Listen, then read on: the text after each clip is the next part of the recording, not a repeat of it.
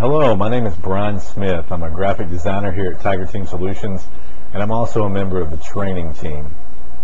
Now, if you receive our monthly newsletter, then I'm sure you've been following along in our various flash-based video tutorials.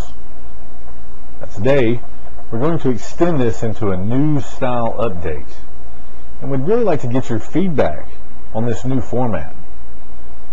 So, to give us your feedback, please go to tts4.com forward slash forum. TTS as in Tiger Team Solutions, the number 4.com forward slash forum. Enough with the introduction. Today's tutorial is about AdWords. It's a follow-up to a previous tutorial where we covered AdSense. What exactly is AdWords? AdWords is a pay-per-click program provided by the search giant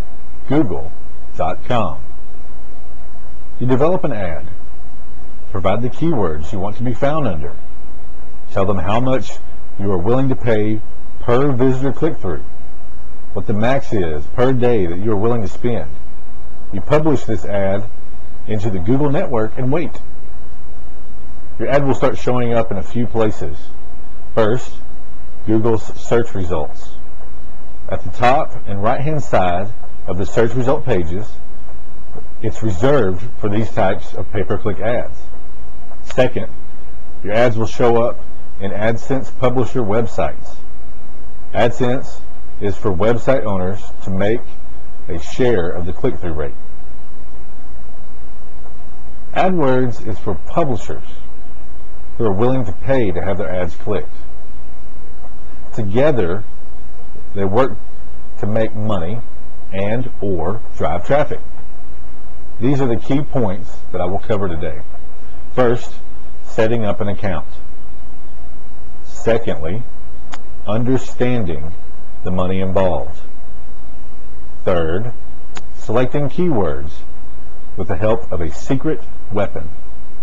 Fourth, writing and publishing your ad. Let's start with the most likely place, number one on my list, starting an account. You'll need to go to google.com forward slash AdWords. Click the Sign Up Now button. You will be given the option to open a Starter Edition account or a Standard Edition account. I would recommend starting with the Starter Edition. And you can always upgrade that at any time, and it will be less confusing for you for your first few campaigns. Follow along the steps. They're pretty easy. Name, address, payment information, etc. The second thing I want to talk about is understanding where your money is going. Now, without trying to scare you or anything like that, I have to point out that there have been people who have lost tens of thousands of dollars overnight by not paying attention here. The problem comes in when they pay too much to get the number one slot, and at the same time, they're paying for keywords that too many people are fighting for. And lastly, they don't set up daily limits properly. So the trick is to find keywords that people search for less often, but at the same time get, get searched for on a regular basis. Consider this. Would you rather pay 5 cents per click and get 100 clicks for a less commonly searched term? Or would you rather pay 50 cents per click for 10 clicks for the more aggressively searched term? You spent the same amount of money, different amount of clicks. And I'm sure you got different amount of conversions.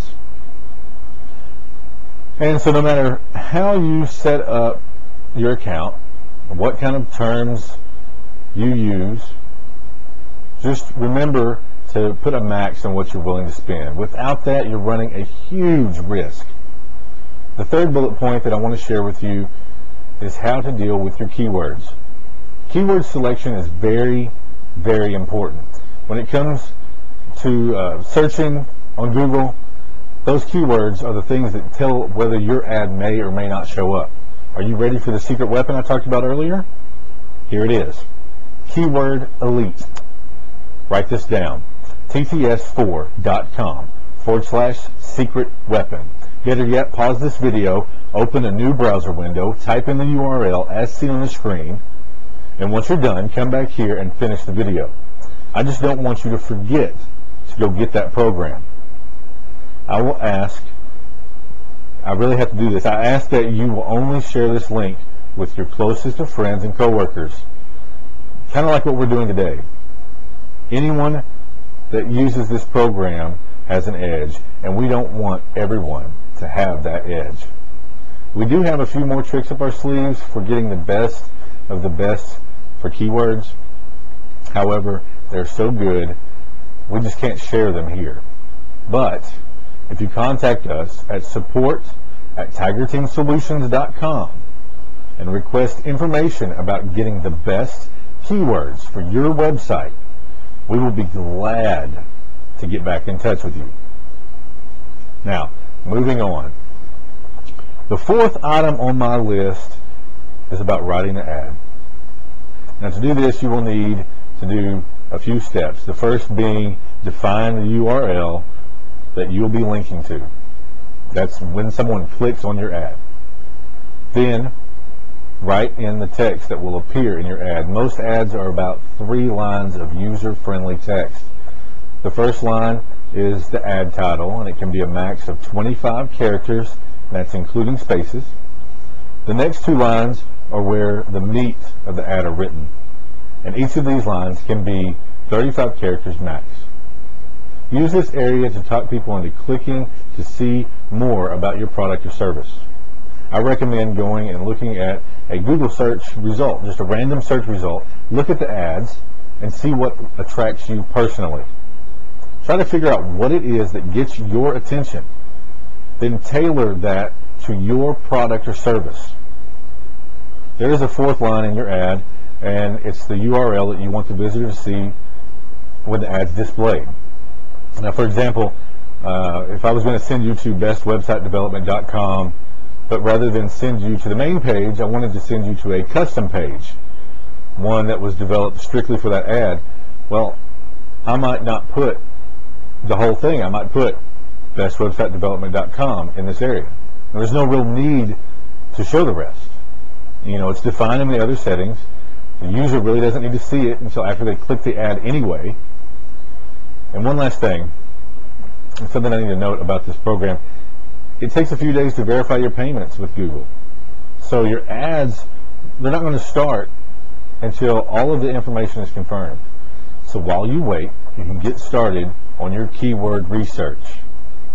Now that I've taken up about uh, eight minutes of your time, I'll let you get back to promoting your website.